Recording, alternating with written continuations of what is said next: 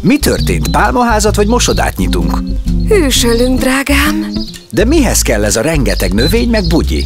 Mert nem mehetünk ki a magas UV-sugárzás miatt, viszont ügyelnünk kell arra, hogy hűvösen tartsuk a testünket. Ezért növényeket spriccelünk és bent teregetünk, így hűtjük a lakást. Aha, aha. Hogy mik vannak? Nem hiába az én lányom. Ha tudatosan bánsz az energiával, akkor egy csomó pénzt spórolhatsz meg magadnak, amit aztán értelmes dolgokra költhetsz. Tudd meg te is, hogy takaríthatnál meg sok ezer forintot a nyári kánikulák idején.